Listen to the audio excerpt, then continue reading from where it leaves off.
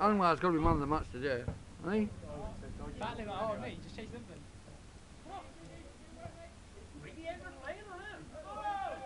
Well done, well done. Come on, let's get on with it. Good, Steve.